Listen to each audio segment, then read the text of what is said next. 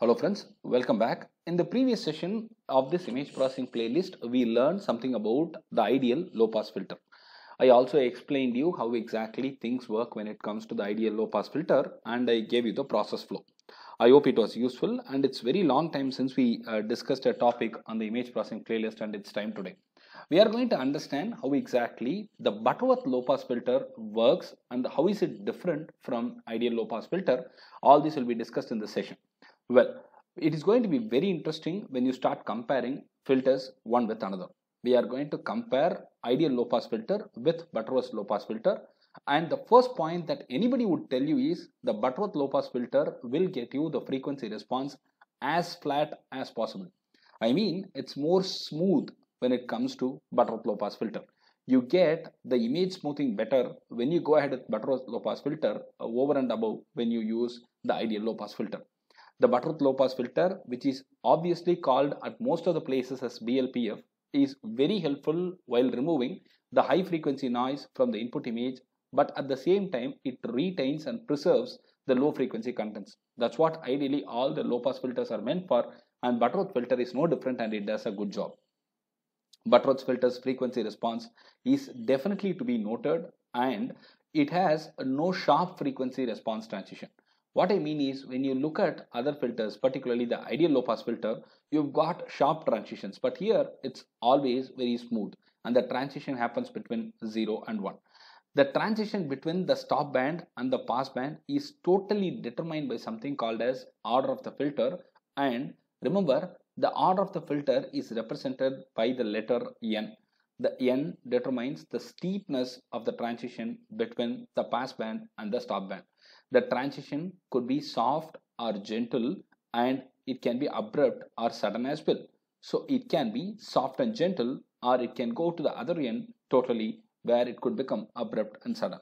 So based on the value of N, one could determine the transition. So you need to be very careful about choosing the value for n which will make your transition either soft or rough. Now ideal low pass filter is said to have something called as a ringing effect which we will discuss in detail sometime later while we compare all the filters once I am done with it. We will go ahead with understanding what are all the disadvantages and the side effects and one of those side effects for the ideal low pass filter is called a ringing effect it is clearly avoided when you come to BLPF and we get over the ringing effect easily. So there can be an interview question, which filter would you use which can avoid or which can overcome the ringing effect?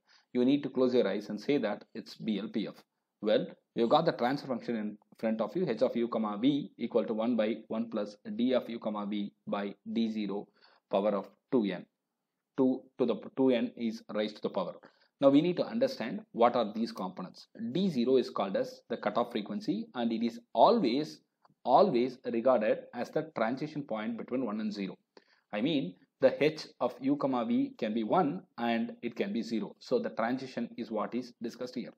BLPF fundamentally works based on the D0 value and it passes all the values which are lesser than D0 whereas it cuts off all the frequencies which are above D0. So that D0 is the cutoff for you where D0 and low, the value which are inferior to Z, D0 will all be permitted whereas it cuts off all the frequencies which are above D0.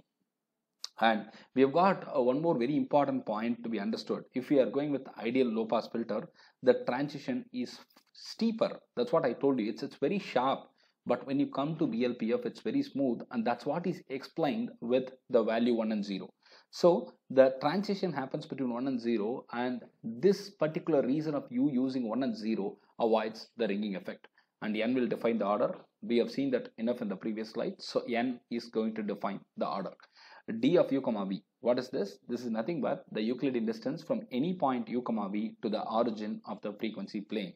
It is very very important and in fact it is totally unavoidable to understand the distance of each element, each and every element of the transfer function to the origin 0 comma 0 this is very very important and please understand the value of it now what do we do the process is very simple i have an input image it goes through FFT.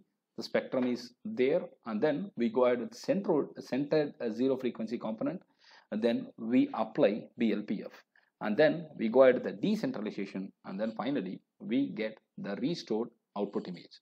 That's all is the process. I'll also give you the link to the codes which we have got and you can try it out in your machine and it will be very easy for you. Thank you very much for following the channel content. If you like the content of the channel, please subscribe and give a thumbs up.